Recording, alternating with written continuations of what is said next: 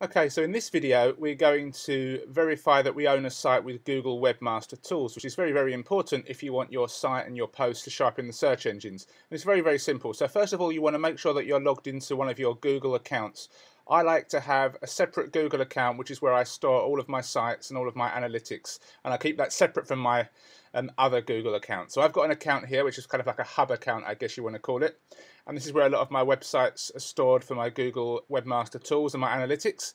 So go to Google Webmaster Tools, log in, and in the meantime, also make sure that you are logged into your website. Now, I've got a website here, How to Run Longer.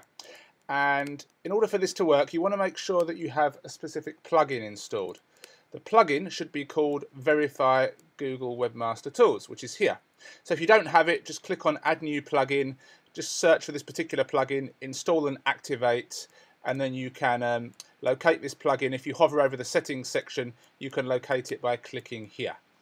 The reason we're going to need this plugin is because we're going to need to add some code. So the first thing we need to do is hit add a property and then we're going to put the URL of the site that we want to manage. So I'm going to put my site, which is this one, Okay, and we've got it without the um, www.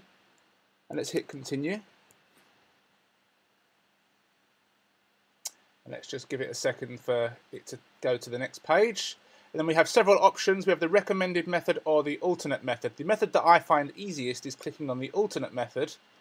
And then that will give us uh, four options. Click on HTML tag, copy this whole thing, including all the brackets and everything, the whole thing, copy it, come over here to your Google Webmaster Tools plugin. Uh, I can just delete this and I'm going to hit paste and I'm going to hit save changes. So we need just to give this a second to save. Okay, so it's saved. I come back here and I hit verify. And congratulations, you have successfully verified your ownership of this particular website. This is, this is the first step and it's very, very important that you do this to get all of your content indexed. And what I mean by indexed is when you put a piece of content on one of your sites and you publish it, it's not automatically going to get picked up by Google unless your site is indexed. And the first step is this, it's verifying that you own it with Google Webmaster Tools.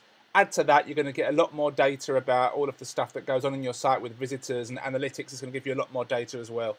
So in the next video, um, we'll look at um, step two, but for now, this is the first thing you need to do. Index your site with Google, uh, verify your site, I should say, with Google Webmaster Tools.